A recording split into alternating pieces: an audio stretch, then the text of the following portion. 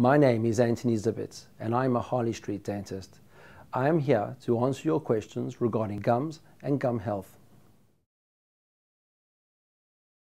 Gum disease can be caused by a number of factors. However, poor oral hygiene is the most common cause.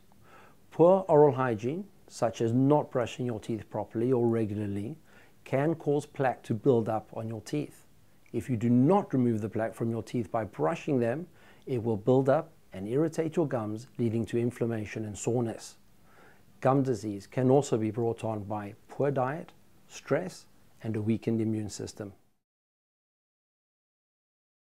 Well, gingivitis, which makes up about 70% of all gum disease, is not always painful, so you may even be unaware you have it. Having said that, initial symptoms that you can watch out for include red and inflamed gums and or bleeding gums when brushing teeth. If you think you might have signs of gum disease, make sure you have a good oral care routine and speak to your dentist or hygienist for more advice.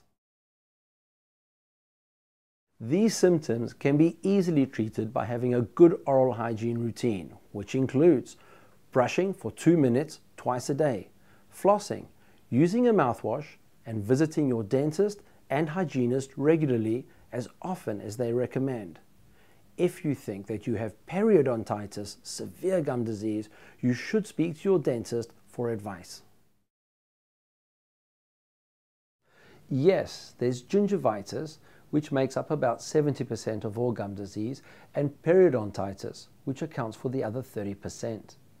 Gingivitis is an inflammatory and sometimes infective condition of the gums. It is often caused by poor oral hygiene or smoking, but it can also be brought on by a poor diet, stress, and a weakened immune system. Long-standing gingivitis can turn into periodontal disease.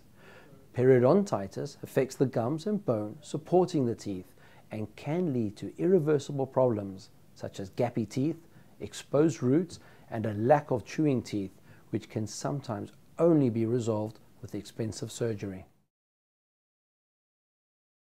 Receding gums may be one of the first signs of gum disease. When gum recession occurs, pockets or gaps form between the teeth and gum line, making it easier for disease-causing bacteria to build up.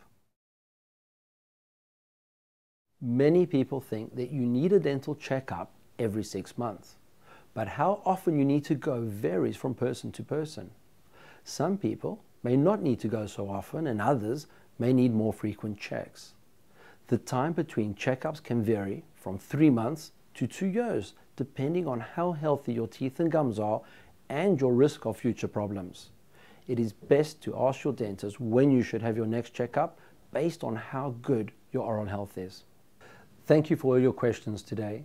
And remember, if you do have any concerns, make sure that you speak to your dentist or your dental hygienist.